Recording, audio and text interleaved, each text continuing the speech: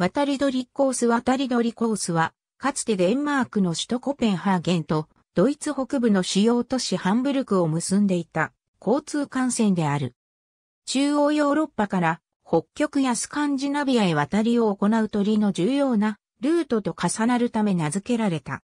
緑色の部分が計画中のフェーマルン、海峡連絡橋プットガルテンのフェリーターミナル自動車と鉄道共通の接続としてデンマークのロービューとドイツのプットガルテン間の 19km はフェリーで結ばれている。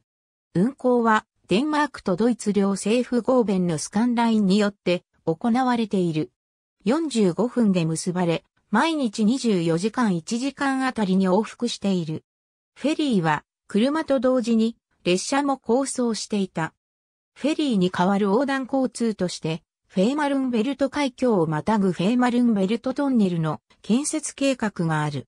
デンマークドイツ両政府の交渉で、基本的にデンマークの資金提供によりトンネルを完成させることで合意している。旅客サービスは現在、コッペンハーゲンハンブルク間に毎日3から5往復の IC3 を使用したユーロシティが運行されている。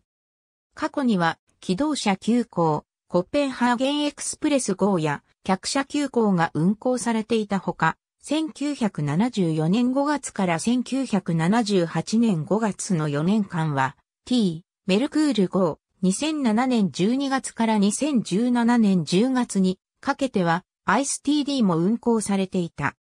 ダイベルト橋が完成してからは、貨物列車は、ロービュ、プットガル転換を直接経由しなくなったが 160km 長いフィン島やユトランド半島を経由している。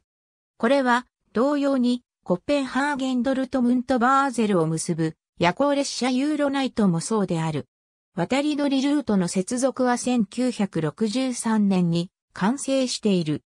以前のコペンハーゲンハンブルク間の連絡は、グレートベルトを直接横断するフェリーと、フィュン島、ユトランド半島間、ゲサバーネミュンでのフェリーであった。より直接的に結ぶ渡り鳥ルートが提案されたのは1920年代に遡る。1941年にナチの占領に押され工事が開始されたが、1946年工事は中止されてしまう。第二次世界大戦後、バーネミュンでは東ドイツになり、西ドイツとデンマーク間の交通にとって不都合となった。